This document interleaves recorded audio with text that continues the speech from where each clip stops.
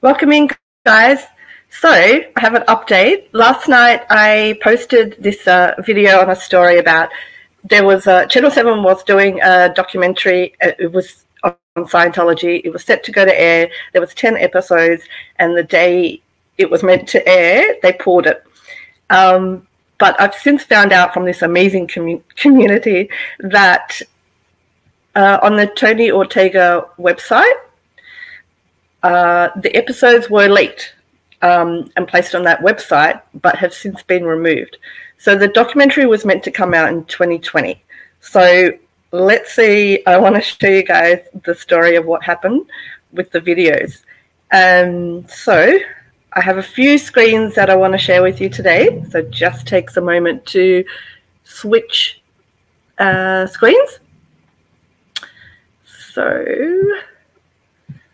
this is going to be this is uh, tonyortega.org. Okay, so Scientology, Scientology Black Ops.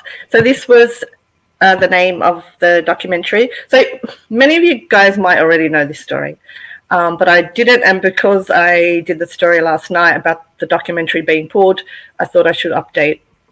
so Aussies bow to Tommy Davis, but he can't kill Dirt File story. So on this website, all of the 10 episodes were there um, and the transcripts as well.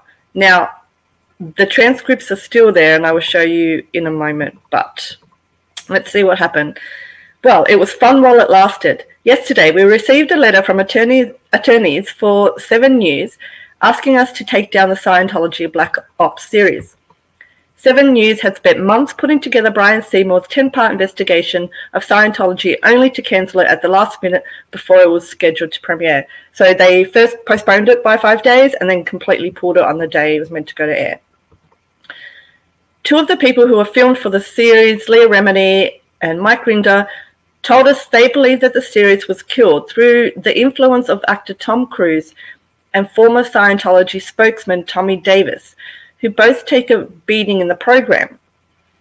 Remini and Rinder told us they believe that Davis and Cruise persuaded their friend James Packer, an Australian billionaire who was in Scientology from 2001 to 2006 and is still friendly with Davis, to lean on his close friend, Seven News chairman Kerry Stokes, to get the series axed. Uh, I don't know if any of this is true, but this is what uh, Leah and Mike Rinder have said. However, beginning on August 31, we revealed that, that episodes of Scientology Black Ops were being leaked to the internet. Eventually, all seven, uh, sorry, eventually all 10 episodes were leaked online. Um, then, a week ago, we received a letter from Australian attorneys at Pike and Veracruz representing Tommy Davis, who wanted us to turn over information about the series and to pull down episodes two and four, which Tommy claimed were defamatory. We published the letter, sorry, we published the letter and did nothing.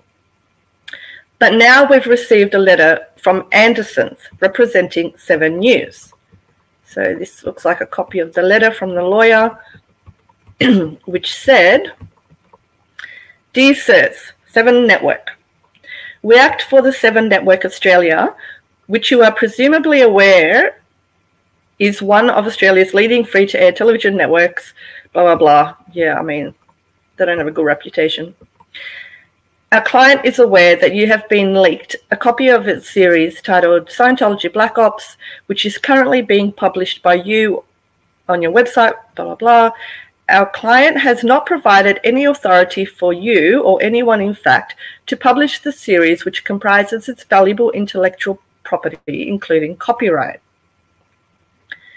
Seven's inquiries are continuing as to how and by whom the series was provided to you, but confirms that without our client's specific authority, publication of the series continu- continues to be a serious infringement of its intellectual property rights. Moreover, you should be aware that Seven has received complaints by persons featured in the series threatening to sue for defamation. I mean, defamation. If the story is true, it's not defamation. As publisher of the series on your website, you would be liable for claims for such parties. Accordingly, we require you to cease publication of the series immediately, blah, blah, blah. As a result of this letter, we wanted to tell our readers about the two things we've decided to do about it. First, we are removing our embedded links to the videos. We don't think they are defamatory of Tommy Davis. We think they're the truth, and they're backed up by sworn court testimony. However, we're one dude with a laptop in New York and we don't have the resources to take on a court fight in Australia over videos we did not produce. Second, we're reminding our readers that after Seven News killed the series, but before the episodes began leaking, it looked like the public might never get to see this excellent series. Leah Remini was very unhappy about that. She had been filmed for the series, as had we, so she knew that Bryan Seymour was going to reveal Tommy Davis's dirt file on legendary publicist Pat Kingsley and his attempt to get Paul Haggis's SAG AFTRA confidential file by pressuring a former guild employee who was a Scientologist. Leah revealed to us that she had written about these things for a chapter of her book Troublemaker that was never published. So, prompted by Seven News trying to suppress the material, she turned over to us that unpublished chapter. And after talking to her and editing the material, we posted it, which I'll show you in a moment. Tommy Davis may not like episodes 2 and 4 of Scientology Black Ops, which tell that story of his underhanded work for the church in order to blackmail Pat Kingsley and dig up dirt on Paul Haggis. But the same story was already posted here, thanks to Leah Remini, and there's nothing Tommy can do about it. So, while we're sure you're disappointed that the video segments of Seymour's excellent series will no longer be available at the Underground Bunker, we hope you keep in mind that the material that made Tommy angry, real angry, that's pretty funny, is still told in full. Okay, so I'll just show you some of those um, as well. So I need to share my screen again. Um, so Leah's basically sent some of her unpublished um, parts of her book and um, so we can see it here exclusive the real Tom Cruise, Leah Remini exposes Scientology's biggest asset. um,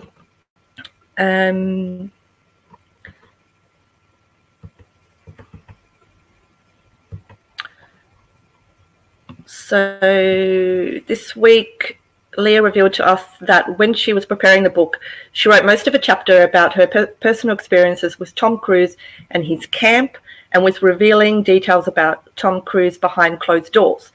She portrayed the, the Cruise a public never gets to see, his dedication not only to Scientology, but to its ruthless and ruthlessness and inhumanity. She told us that the pages weren't included in what was published, saying that although the publisher felt it was worth printing, there were concerns that it would take over the media's focus on the book and would overshadow her reasons for writing it. Leah didn't want her book to be focused on Tom Cruise blah, blah, blah. Um, so she says, it, um, I think it's time for people to start waking up to the real facts here. Tom has for years manipulated his image to be the good guy. And although I believe there was a time when Tom was a decent and kind hearted person, he has morphed himself into David Miscavige and is completely dedicated to Scientology's mission to clear planet Earth. Um, Tom has for years used Scientology and its staff to do his dirty work. Tom has used Scientology and its thugs in suits, like Tommy Davis, to break up with his former Scientologist girlfriend. He used Tommy, Tommy's ex wife, Jessica, to give his girlfriend sex advice. Ugh, this is so weird and gross. Like, who the hell does this? Okay. Davis has used confident confidential Scientology counseling confessions. So she's talking about Tommy Davis here. Uh, he used confidential Scientology counseling confessions to break up two Scientologists so Tom could date one of them. used confidential Scientology counseling sessions to bring a wedge between Tom, and his wife Nicole because Nicole didn't want to do Scientology anymore. And David Miscavige, through Marty Rathbun, got rid of Nicole to get close to get Tom closer to Scientology. Tom has for years used his church to torture his employees by standing so by sending them in for interrogations at their expense, causing a woman I know to go bankrupt simply because the hours she worked for Tom made it impossible for her to raise her family. She was interrogated and punished by her church for years. That's a church? Causing her to lose her home. These are some of the things Tom uh, has done but never get talked about. And I think it's time to change that. So that the, then I'm not going to go through all of it, um, but this is what Leah wrote about the specific stories that she learned about and specific people. Um, there was uh, Tom Cruise's publicist. So the public publicist here was Pat Kingsley, uh, and I'll just show you briefly this story. So Tom, Tommy Davis was involved in this story. So Pat Kingsley protected Tom Cruise from the media. She was a pioneer in her industry, the person who brokered her A-list clients, blah, blah, blah, blah. Um, with Nicole gone, Pat was the last vestige in Tom's world that wasn't Scientology, and now Miscavige would use L. Ron Hubbard policy to get Tom the freedom he needed to advance the church. Tommy Davis had taken it upon himself to run the operation after insisting that Tom fire Kingsley. Tommy had a folder of intel that he had collected of Pat Kingsley's entire history. There were copies of financial records and other sensitive information and photographs revealing private details of her life that Davis felt could be damaging to her if there was any backlash, backlash to Cruise after he fired her. He called it a dirt file. Guys, this is Scientology. This is what they do. Uh, this is what OSA does. That's why it matters. That's why it matters that Emily Armstrong is is now the singer of Linkin Park. Her mum being one of these uh, OSA operatives. I mean, the things that I've done have been a lot worse than this as well. Um, but in essence, it was blackmail. And in Scientology's written policy to fair game anyone who the church sees as a threat, Miscavige was prepared to destroy Pat with this evidence should she ever speak the truth about Cruise. We know this because Tommy boasted about the dirt file and showed its contents contents to one of Tom's trusted employees, Shauna Brakefield. Yeah, so interesting stuff. So I'll just quickly show you the episodes. Um, and so we can see um, on the website um, all of the episodes and what was in them, what the topics were, and it actually still has all of the transcripts in there. So, um, so this was looks like episode one. I'll just I'll just show you briefly. So it starts with Bryan Seymour heading to Sydney Airport to jump on a plane to go to, to the United States to do another story in Scientology. I never imagined I'd be doing stories on this group 13 years after the first one. But then I never imagined what I discover about this group and just the lives they've destroyed. And that they're still destroying today. That's why I'm doing this. Someone said to me, When are you going to stop obsessing or doing stories in Scientology? And I said, You know what? I'll stop when they stop abusing people.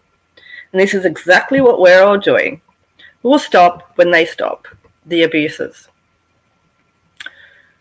I hope this is, if not the last story I do on them, the one that triggers the end of this group. Yep. Um, so yeah, you can see all the transcripts. You can see who was in there, who was interviewed. Um, like this one was on Paul Haggis, and it's got his. I believe these are his daughters, Lauren and Alyssa Haggis, etc. So that's that. You can actually go into every episode and see all of that. The fact that we can still see the transcripts, the people who were interviewed, and what was talked about is quite good. Um, it looks like a lot of it was to do with um, revealing things about Tom Cruise and the and the whole dirty file from and blackmail from Tommy Davis and just how uh, dirty Scientology is when it wants to be. Um, so that was it. I just wanted to update you that on the story that I did last night about the documentary being pulled from air, and that we can still go out and find the details. And now we've found out quite a bit of what happened behind the scenes. Uh, thank you guys for being here. Um, please like, uh, subscribe, and uh, share the information. If you think that someone would mind, find it helpful, please leave a comment if you have any further information. It's really helpful. This community has a lot of information to share. Um, thanks, guys. Take care.